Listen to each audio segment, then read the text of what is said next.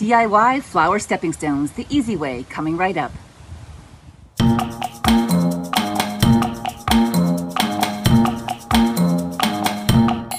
Hi, it's Marcie. Welcome back. Today's creative video is all about making DIY stepping stones for your garden pathways.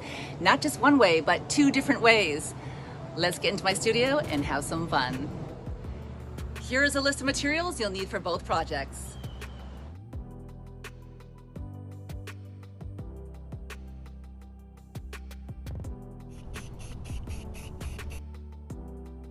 All right, we're going to spray this really, really well.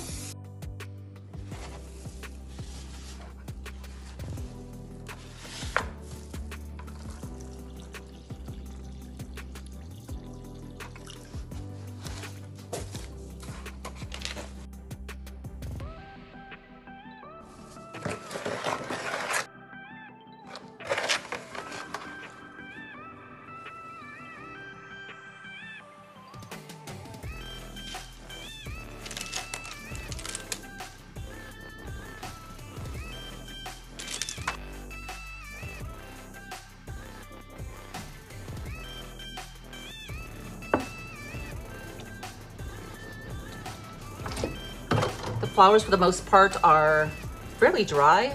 And I'm gonna quickly go over these with a damp cloth. It's just nothing more than a t-shirt with a little water.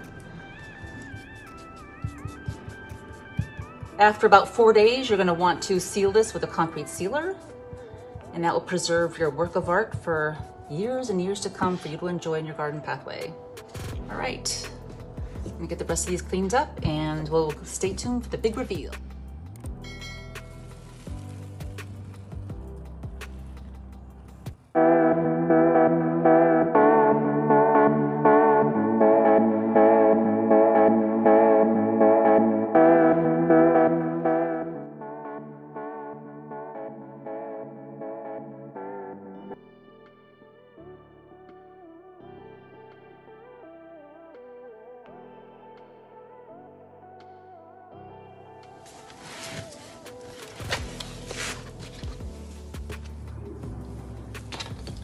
This is the time, if you have any rough edges, just to take a sanding bar, like so, and sand them down. These are looking really good, so I'm not gonna do that. The only part I did sand was the stone part to release some of the concrete from the stone. And we are ready to paint, my friends. Now you can use Rust-Oleum. If you wanna use spray paint, you can do that. That's Rust-Oleum has a good exterior spray paint, interior, exterior. And then you could finish it off with a clear gloss or a matte. You can use a Liquitex. This is what I'm using right now is Liquitex. I figured, you know what?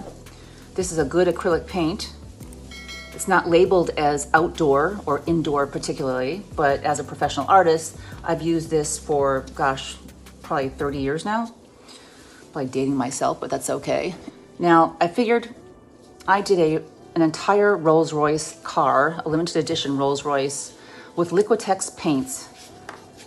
And then I clear sealed it with a urethane. So I figured what's good for my limited edition Rolls Royce that I drove around every day is good enough for my stepping stones.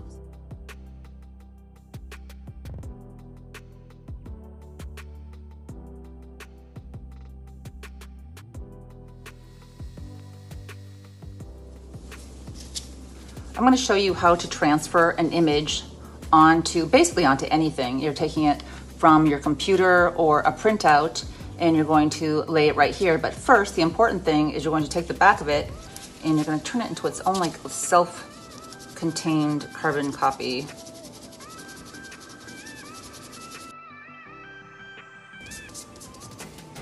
Okay. And lay it right on your, whatever you're doing. In this case, it's our stone. And then you're gonna take a graphite pencil and just go over the line work that you wanna copy. You can do the whole thing.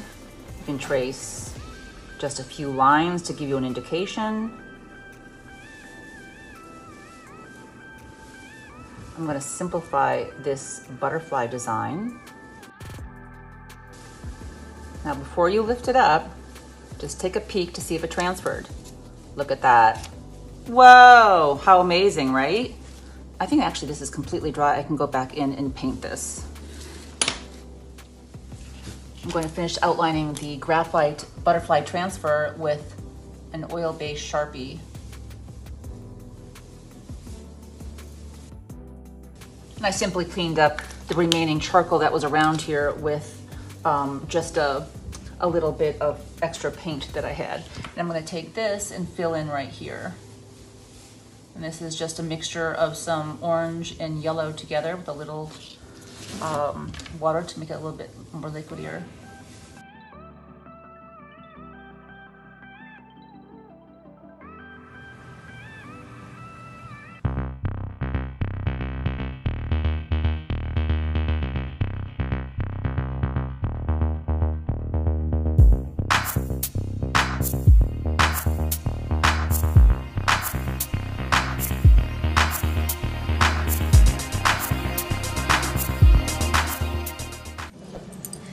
Ziva and I would like to thank you for joining us. Have an amazing day.